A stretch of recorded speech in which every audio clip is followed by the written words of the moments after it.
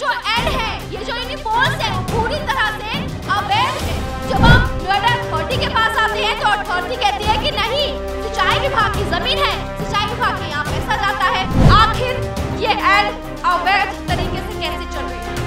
Noida authority इस ओर ध्यान नहीं दे रहा।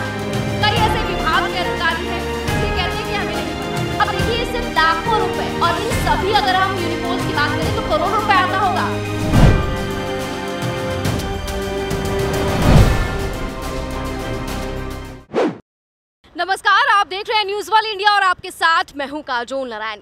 इस वक्त मैं मौजूद हूँ दिल्ली और उत्तर प्रदेश के बॉर्डर पर, यानी कि कालिंदी कुंज पर, और इस वक्त मैं खड़ी हूँ यमुना बैराज पर। जिसकी तस्वीरें मैं पहले आपको दिखाना चाहूँगी और मैं यहाँ क्यों खड़ी हूँ, ये फिर आगे हम सिलसिलेवार तरीके से बताएँगे। तो ये वो रोड है जो सीधा दिल्ली और उत्तर प्रदेश को जोड़ता है, यमुना बैराज। आप उस तरफ़ देखेंगे तो आपको कालिंदी कुंज नज़र आएगा और इस तरफ़ आप देखेंगे तो उत्तर प्रदेश, यानी कि नोएडा की सीमा यहाँ से शुरू हो जाती है। और ये वो जगह है जहाँ से नोएडा की शुरुआत होती है। आज हम यहाँ पर इसलिए मौजूद हैं क्योंकि देखिए, विज्ञापन की अगर हम बात करें तो विज्ञापन आपने टीवी में देखे होंगे, रोज़ाना आप देखते होंगे, अखबारों में आपने देखे होंगे, अगर आपके घर अखबार आता होगा, मोबाइल फ़ोन में आप देखते होंगे, लेकिन बहुत सारे ऐसे विज्ञापन हैं जो रोड पे भी लगे रहते हैं। कई बार ऐसा हुआ होगा कि आपकी नज़र इन पर गई हो, लेकिन कई बार ऐसा होता है कि आपकी नज़र इन पर नहीं जाती। तो आज मैं आपको ऐसे ही विज्ञापन दिखाना चाहूँगी। अब आप ये पूछेंगे कि क्यों? तो इसके पीछे बहुत बड़ी वजह है। ये शुरुआत यहाँ से और सबसे पहला जो एड आप देखेंगे, मैं चाहूँगी अपने कैमरा पर्सन से कि जूम करके इस एड को दिखाएँ। ये पहले एड की शुरुआत हो रही है और जब इस एड के बारे में हम पूछते हैं नोएडा अथॉरिटी से और सिंचाई विभाग से तो असमंजस की स्थिति रहती है, यानी कि कंफ्यूजन की स्थिति। आखिर इसका रेवेन्यू कहाँ जा रहा है? क्योंकि ये जो एड है, ये जो यूनिपोल्स है, वो पूरी तरह से अवैध है। इसका पैसा आखिर किसकी झोली में जाता है? क्या ये सिंचाई विभाग के पास जाता है? क्या ये नोएडा अथॉरिटी के पास जाता है। जब हम सिंचाई विभाग के पास जाते हैं तो कहते हैं कि नहीं, ये तो नोएडा की शुरुआत हो गई है तो नोएडा अथॉरिटी के पास पैसा जाता है। जब हम नोएडा अथॉरिटी के पास आते हैं तो अथॉरिटी कहती है कि नहीं, सिंचाई विभाग की ज़मीन है, सिंचाई विभाग के यहाँ पैसा जाता है। और जब हम अधिकारियों से मुलाकात करते हैं तो नोएडा अथॉरिटी के जो अधिकारी हैं, और जब हम बात करते हैं, नोएडा अथॉरिटी के अधिकारियों से जाकर तो पहले तो हिला वाली पहले तो पल्ला झाड़ने की कोशिश, कैमरे के सामने नहीं आएँगे। बात नहीं करेंगे। जो छोटे अधिकारी कहते हैं कि बड़े अधिकारियों को पता है, हमें इस मामले में कोई जानकारी नहीं है। लेकिन जब हम बहुत ज़्यादा ज़ोर डालते हैं, उनसे पूछने की कोशिश करते हैं तो कहते हैं कि हमने सिंचाई विभाग को लेटर ले दिया है। उनसे पूछा है पत्र लिखकर कि क्या रेवेन्यू आ रहा है। आप सोचिए, लाखों करोड़ों रुपए महीने में आता है इन एड्स का। जो आप मेरे पीछे देख रहे हैं जहाँ से शुरुआत हो रही है एड की। एक एक करके जो हमारा कारवा है, वो आगे बढ़ेगा और ऐसे तमाम एड्स हम आपको दिखाएँगे कि अवैध तरीके से लाखों करोड़ रुपए नोएडा अथॉरिटी या सिंचाई विभाग के झोली में जा रहा है। सभी अधिकारी इस पर चुप्पी साधे हुए हैं और सभी अधिकारी इस पर कुछ भी बोलने के लिए तैयार नहीं हैं। और ये खेल अभी का नहीं है। ये खेल बहुत पुराना है। ये खेल है, सालों से चला रहा है। आपने देखा होगा, बहुत सारे दिल्ली के ऐसे लोग होंगे, बहुत सारे उत्तर प्रदेश के ऐसे लोग होंगे, जो नोएडा नौकरी करने आते हैं, नोएडा से दिल्ली नौकरी करने जाते हैं। रोज़ाना इन एड्स को देखते होंगे, कई सालों से देख रहे होंगे। लेकिन ये एड बदलते रहते हैं, हटते नहीं हैं। सरकारें पिछली भी आई, सरकारें अगली भी आई, सरकारें चल भी रही हैं, लेकिन कोई भी इस पर कुछ नहीं कहता। सब चुप्पी साधे बैठे हैं। ज़ीरो टॉलरेंस की नीति अपनाने की बात की जाती है, लेकिन ज़ीरो टॉलरेंस देखिए आप, इन पर कोई कुछ नहीं बोलता। अवैध तरीके से अगर नोएडा अथॉरिटी की हम बात करें तो अगर आप एक झंडा लगाना चाहते हैं ना तो आपको परमिशन लेनी होती है। तब नोएडा अथॉरिटी के जो लोग हैं, वो आ जाते हैं कि आपने झंडा क्यों लगाया, कैसे लगाया, यहाँ पे गाड़ी खड़ी क्यों की, कैसे की? आप जवाब दीजिए परमिशन लीजिए। लेकिन नोएडा अथॉरिटी ऐसे एड्स पर चुप है, क्योंकि पैसा आता है, लाखों रुपए झोली में गिरते हैं। सवाल बहुत है और जवाब तलाशने की कोशिश हम कर रहे हैं। आज ये पहला पड़ाव कालिंदी कुंज है। इसके बाद फिर आगे भी हम बढ़ेंगे और आगे से तमाम तस्वीरें हम आपको दिखाएँगे। और एक के बाद एक मैं चाहूँगी अपने सहयोगी से कि जो एड यहाँ पर लगे हुए हैं, वो अवैध तरीके से हैं, वो एड दिखाएँ जूम करके दिखाएँ और बगल में सेक्टर 126 की यहाँ पर जो थाना है, वो भी है। यहाँ पर लेकिन कोई कार्रवाई किसी भी मामले पर नहीं की जाती है। नैदा अथॉरिटी चुप है, सिंचाई विभाग चुप है, लेकिन कोई सुनवाई यहाँ नहीं होती है, क्योंकि मसला पैसों का है। पैसा जेब गर्म होती है हरे हरे नोट आते हैं तो कोई भी कुछ नहीं बोलता। तो सवाल अब यही है न्यूज़ वन इंडिया यही पूछना चाहता है कि आखिर रेवेन्यू जाता तो जाता कहाँ है? क्यों इसकी नॉलेज हर एक व्यक्ति को नहीं होती जो नोएडा में रहता है। आखिर क्यों नहीं पता कि आखिर ये ऐड हमारे इलाके में लगे हैं? तो क्यों लगे इसका पैसा कहाँ जाता है और इससे क्या फ़ायदा होता है?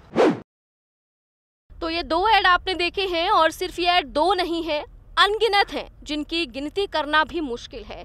आप देख सकते हैं, मैं चाहूँगी कैमरा पर्सन से कि वो दिखाएँ। ये जो ऐड है, ये पूरी तरीके से अवैध है, अवैध तरीके से ये जो निपोल्स हैं, यहाँ लगे हुए हैं। और इसकी जानकारी नोएडा अथॉरिटी कहती है कि हमारे पास नहीं है। सिंचाई विभाग कहता है कि हमारे पास नहीं है। तो आखिर इसकी जानकारी किसके पास है? किससे हम सवाल करें? कौन जवाब देगा? क्योंकि लगातार हम अथॉरिटी भी जाते हैं, वहाँ से कोई संतुष्ट जवाब नहीं मिलता। कोई कहता है कि सिंचाई विभाग को रेवेन्यू जा रहा है, कोई कहता है कि नोएडा अथॉरिटी ले रही है क्योंकि ज़मीन उनकी है। और ये देखिए बड़े बड़े ब्रांड्स की एड है। हिटाची का ये एड अब देखिए, इससे लाखों रुपए। और इन सभी अगर हम यूनिपोल्स की बात करें तो करोड़ रुपए आता होगा। लेकिन किसकी जेब में जाता है? ये सवाल है। क्यों जाता है? कैसे जाता है? किस अधिकारी को पता है? ये भी बड़ा सवाल है, कोई अधिकारी कुछ नहीं कहता। समृद्धि तीन तीन एड जो हैं तीन तीन यूनिपोल्स पे लगे हुए हैं समृद्धि के। बड़ा ब्रांड है लग्जरी लैंड है, और यहाँ पे पैसा किसके पास जा रहा है? इन्होंने क्यों लगाया है? किसने परमिशन दी है? किसकी परमिशन के बाद ये यूनिपोल्स लगे हैं? कोई कुछ भी कहने के लिए तैयार नहीं है। तो ये थी कालिंदी कुंज। और जो यमुना बैराज है, यहाँ से जब एड की शुरुआत होती है, ये ख़त्म होती है ओखला बर्ड सेंचुरी जाकर। और ऐसे में 10 या 12 पोल्स हमने आपको दिखाए हैं, जहाँ पर भरमार थी एड्स की यहाँ नहीं होती है। किसके पास पैसा जा रहा है, किसकी झोली में जा रहा है, किसकी जेब गर्म हो रही है, सबसे बड़ा सवाल यही है। पिछली सरकारों से चला रहा है। अखिलेश की सरकार थी, तब से ही चला रहा है। लेकिन तब से अब तक कोई कार्रवाई नहीं होती। ज़ीरो टॉलरेंस की नीति अपनाने की बात होती है, लेकिन ज़ीरो टॉलरेंस की नीति में सवाल ये है कि जब अधिकारी लगातार उन पर कार्रवाई की जा रही है तो नोएडा अथॉरिटी में जो अधिकारी हैं, जो कार्रवाई करने से बचते हैं, उन पर क्यों एक्शन नहीं लिया जा रहा? बहुत सारे ऐसे मुद्दे हैं जिन पर बात होती है। बहुत सारे ऐसे मुद्दे हैं जो रोज़ाना आप टेलीविज़न स्क्रीन पर देखते होंगे, तमाम चैनलों पर देखते होंगे। लेकिन कुछ मुद्दे ऐसे हैं जो ना तो दिखाई देते हैं, ना सुनाई देते हैं। बड़े बड़े अधिकारी जानते हुए भी इन्हें अनदेखा कर देते हैं। आज जैसे ही मुद्दे लेकर news world India ground zero पर उतरा है रियलिटी चेक करने के लिए। आप मेरे पीछे देख सकते हैं, कुछ पोल्स और इन पोल्स के ऊपर ये लगे हुए एडवर्टिजमेंट। ये जो एडवर्टिजमेंट है, पूरी तरीके से अवैध है।